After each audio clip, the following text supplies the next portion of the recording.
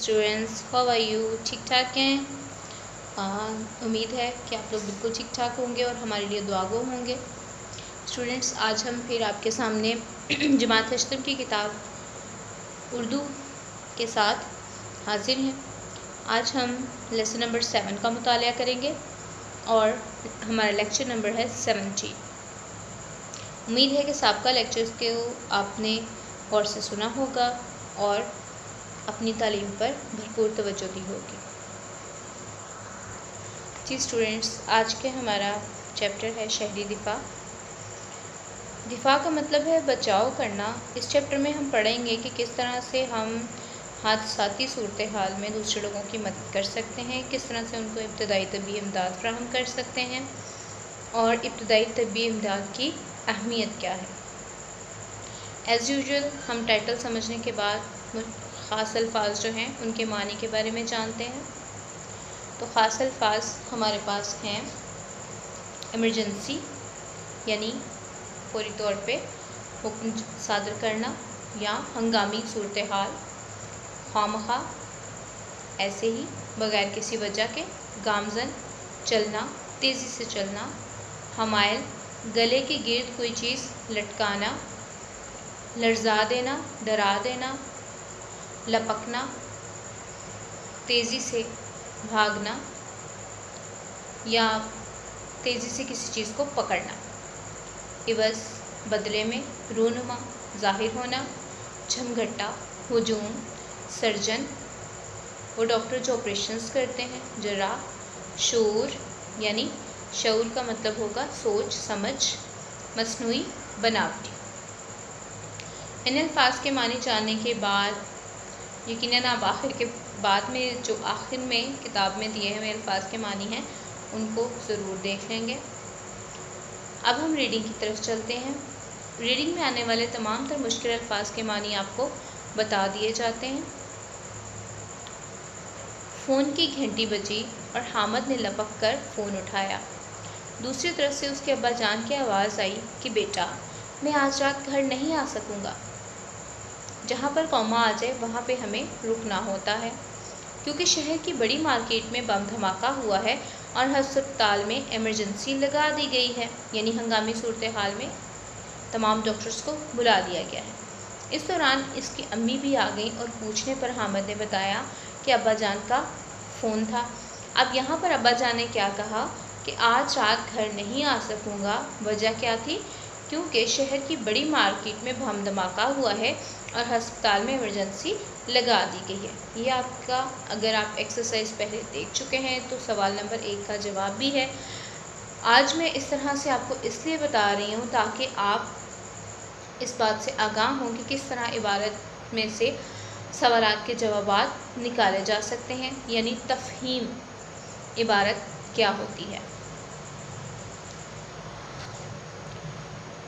और पूछने पर हामिद ने बताया कि अब्बा जान का फ़ोन था। वो कह रहे थे कि बम धमाके की वजह से हस्पताल में इमरजेंसी लगी हुई है, जिसकी वजह से वो रात को घर नहीं आ सकेंगे। हामिद ने सोचा कि धमाका करने वाले किस कदर ालिम लोग हैं।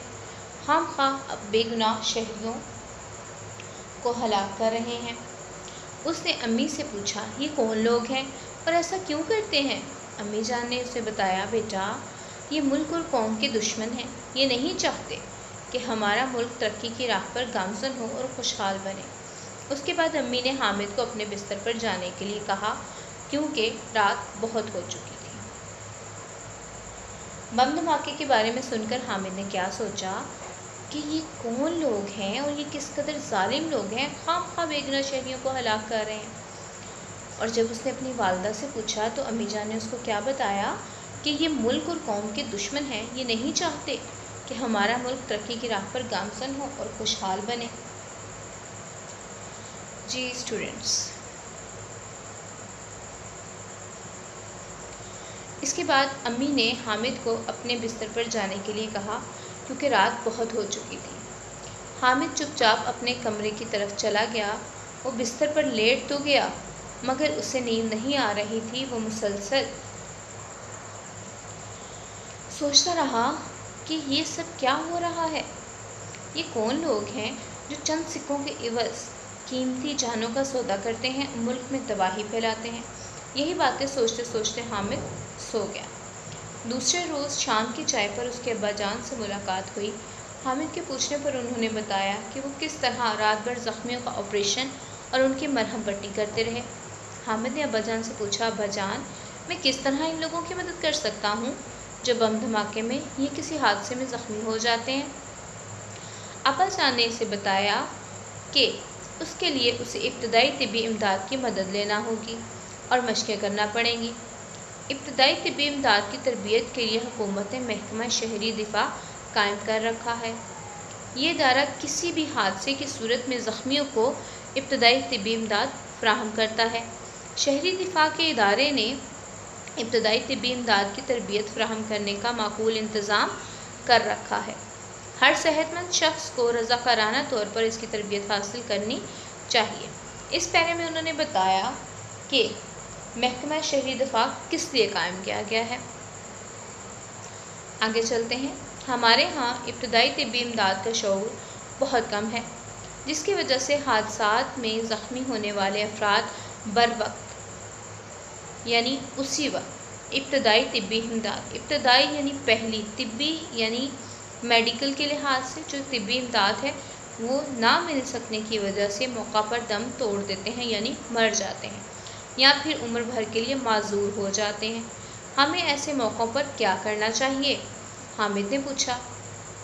अब्बा जान बोले, पहले तो हमें ऐसे हादसा की रोकथाम के लिए अपने इर्द गिर्द पर नज़र रखनी चाहिए। ताकि मुल्क का कोई दुश्मन इस तरह की हरकत ना कर सके।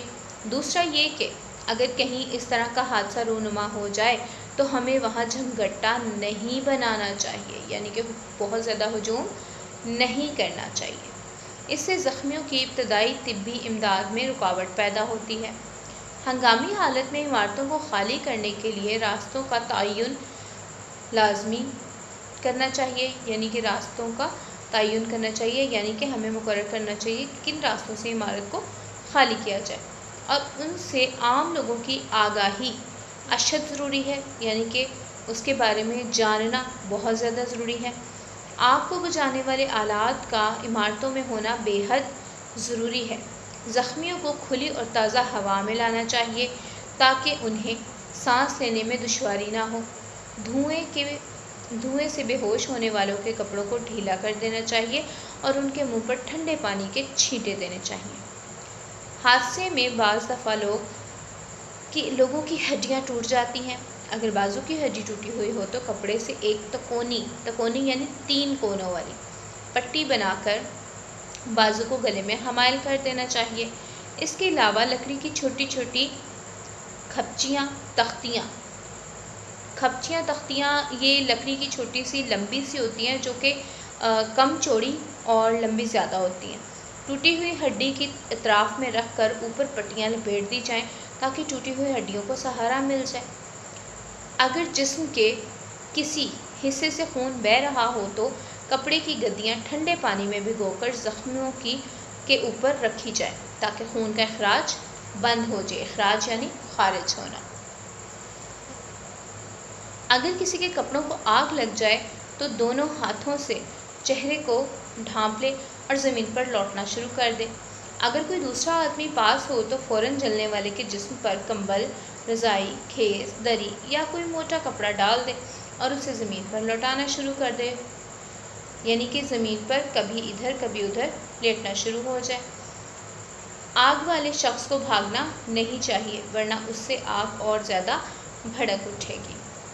इन इतनी रीडिंग आपको समझ आ गई होगी कि किस तरह से हामिद के अब्बाजान ने घर में फ़ोन किया कि शहर में एक धमाका हुआ, जिसकी वजह से हस्पताल में इमरजेंसी लगी और वो रात को घर नहीं आएँगे।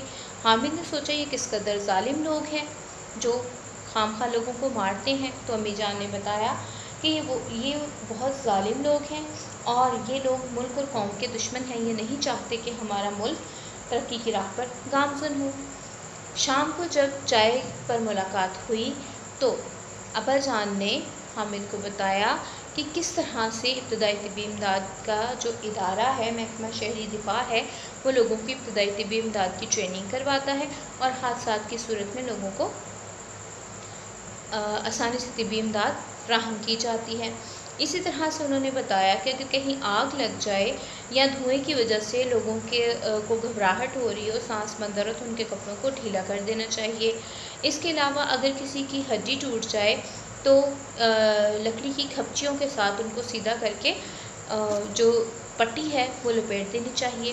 और अगर किसी के कपड़ों को आग लग जाए तो दोनों हाथों से चेहरों को ढांप लें और ज़मीन पर लौटना शुरू कर दें। दूसरा अगर कोई पास मौजूद है तो कोई मोटा कपड़ा उस पर डाल दें। और वो शख्स ज़मीन पर लौटना शुरू कर दे, जिससे आग बुझ जाएगी। आग वाले शख्स को भागना नहीं चाहिए, उससे आग और ज़्यादा भड़क उठेगी इन अगले लेक्चर में मुलाकात होगी। अल्लाह हाफिज़। Take care